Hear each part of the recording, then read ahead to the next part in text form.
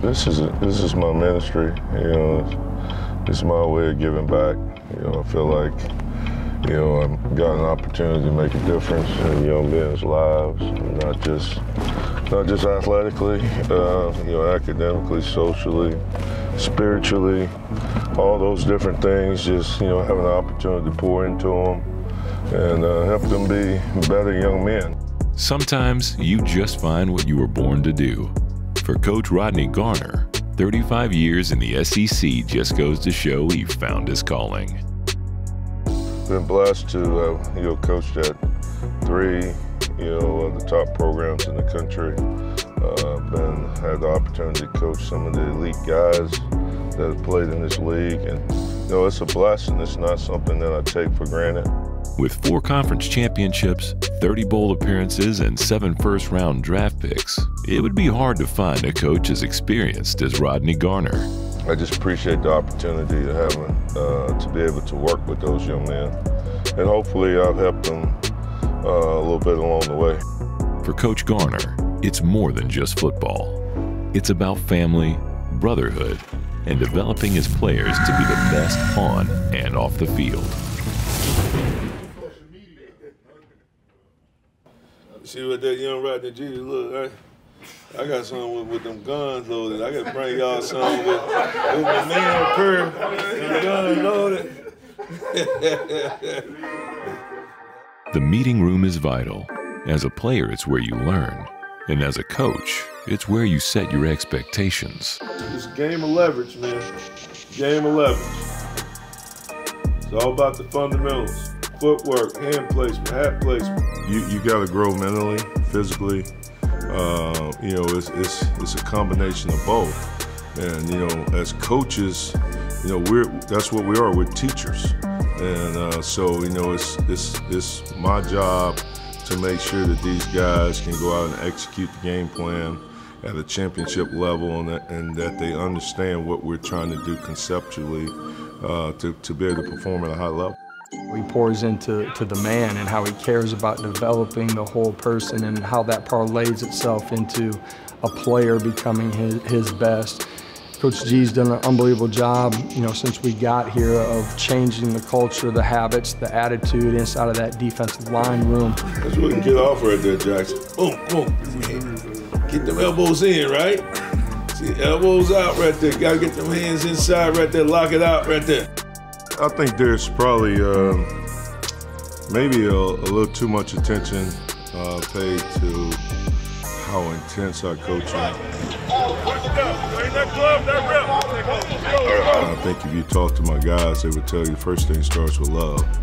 You know, I try to love them harder than I do anything. Let's make sure that everything we do, we go out here and play for these damn seniors. For Prime, for Roman, for Austin, for Isaac. All right, guys we won't ever get a chance to run the play for that T on the side of the helmet ever again. All right, leave everything you got out there on the field. We're just trying to follow in his footsteps, and we trust him in the room to just to take his coaching, to take all the uh, small details he give us to just improve our game and improve his young men. This defensive line group is as close as it gets. Their bond is a huge factor in their success. You stepped on my feet the other day. What y'all did? No, Tim. Was it Tim? Was it, was it Tim? Huh? Who was it? I broke my damn foot. he all care for us the same. Like whether you a starter, whether you a walk on, whether you just not getting there, whether you been here for a minute, he loves everybody in the room and he gonna treat everybody the same. And I feel like that's important when you in college and when you trying to find your way. I look at these young men like they're my sons. And, you know, when I have to make a decision concerning these young men, I always ask myself, if that was my son, how would I want to handle? I still got relationships with my players from 35 years ago, you know, and those, they can call me and we talk, you know, they send me pictures of the family. I mean, all those things are still very important to me. Coach Garner's impact has been felt across the SEC, but you only need to look inside this defensive line group to see the growth of guys like Bryson Eason. It's good pad level right there. Who that, you Eason? It's good, great pad level right there.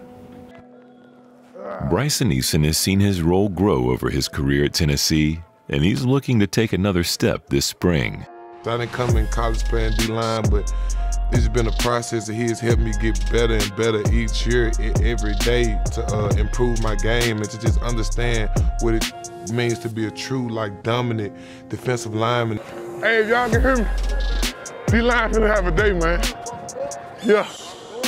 I just feel like being a, lot of people don't understand what it really takes to be a D lineman, and especially in the SEC, and especially to try to be a good D lineman.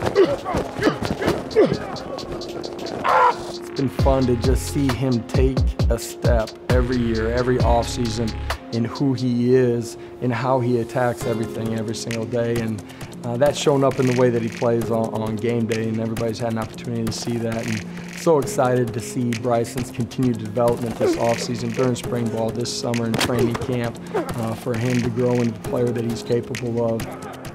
Come on, E, three for three. Ah. Bryson's become somebody that uh, is really important inside of our building too because of how he impacts people around him. There's my boy Bryson. Yes, sir. My boy Jack Jack. Yes, sir.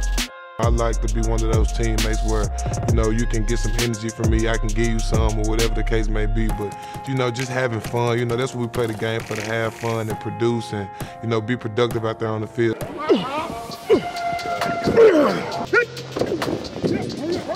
definitely have seen his work ethic improve. Uh, I think he's straining more.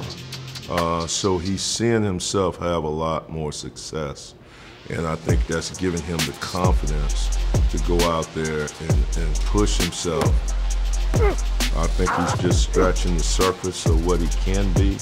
Uh, but it's been uh, really, I guess, rewarding to see him take those steps this spring and uh, I'm excited about the kind of fall that he can have. I think we, we, we should really have the best defensive line in the country. You know, I feel really good about our depth that we're building. This defensive line group knows how high the expectations are.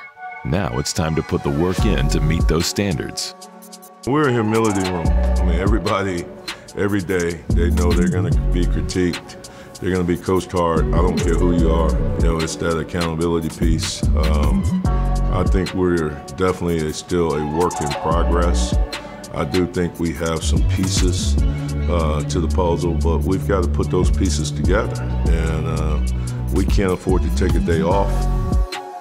We've got to take care of the little things, right?